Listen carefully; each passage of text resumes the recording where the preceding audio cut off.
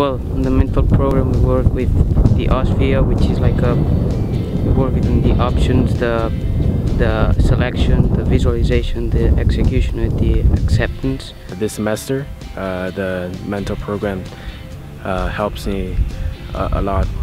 And it's a really good way of training because I mean I've never trained like this before.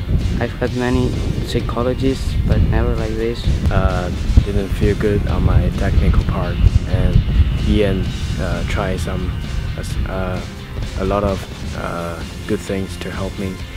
We work a lot on the execution, so um, of not being thinking like negatively on the shot. Ian gave the gave us a lot of uh, prac practices uh, about process goal, uh, find a process goal, and just think about it um, during golf tournaments or um, play uh, play on the course. Different ways we do it. For example, like playing a hole running.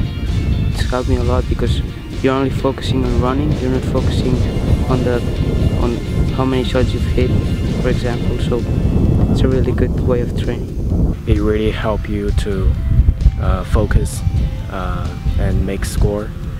Ian told us to uh, like forgot forgot the thing you're doing and just focus on the ball and the target. Uh, don't think that much. Uh, just stand on and play. Ian is a great coach and the way he he tells you the things you have to work on. It's very amazing and it's really nice. Really nice person and really easy to work with